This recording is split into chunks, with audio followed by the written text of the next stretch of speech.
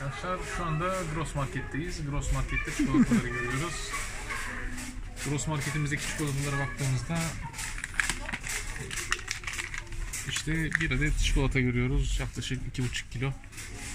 Biraz önce Cumhur güzel bir espri yaptı. Diyetisyeniniz size bir çikolata, günde sadece bir çikolata yiyebilirsiniz derken böyle bir şey kat ses kastetmiş olsa ne düşünürdünüz?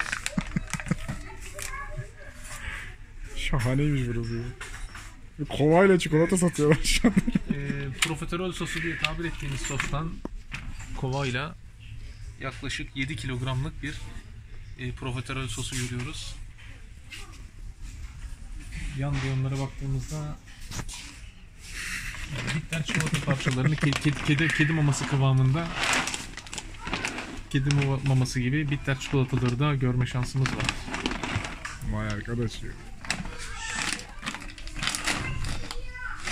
Burada da yine 5, 5 kiloluk kedi maması şeklinde tasarlanmış sütlü çikolata parçalarını görüyoruz. Pasta üzeri süslemeler için kullanılabilir.